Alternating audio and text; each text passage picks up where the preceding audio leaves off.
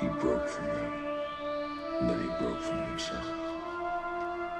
I'd never seen a man so broken up, ripped apart. Horror has a face,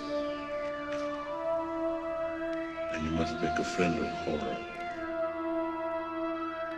Horror and moral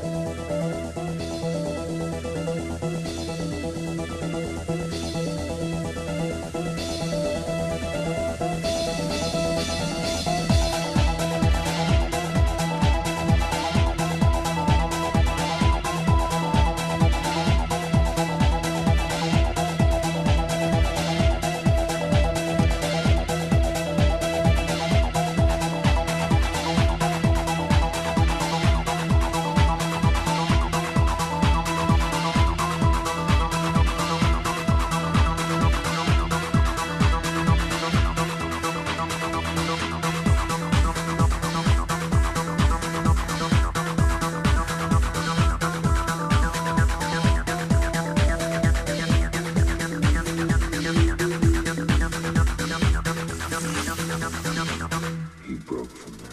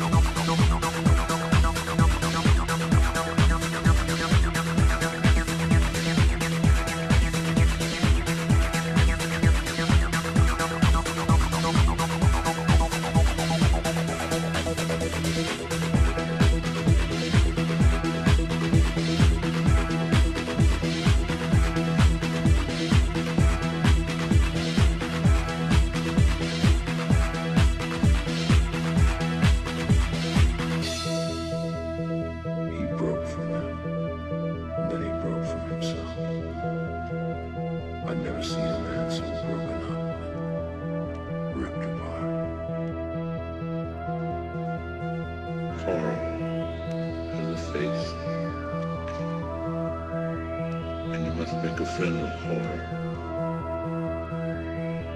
Horror